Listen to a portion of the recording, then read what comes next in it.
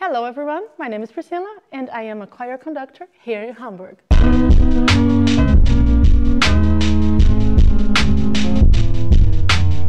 My contribution to the city is to make people sing and bring them into a community of choir singers.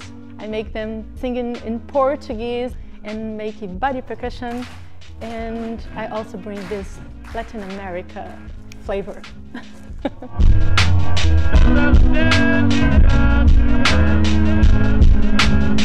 My favorite place in Hamburg so far is Landungsbrücken.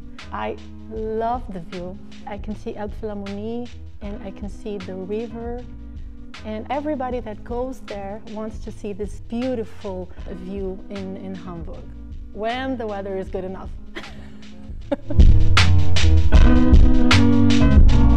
Ich gestalte Hamburg bunt und wir machen das alle zusammen.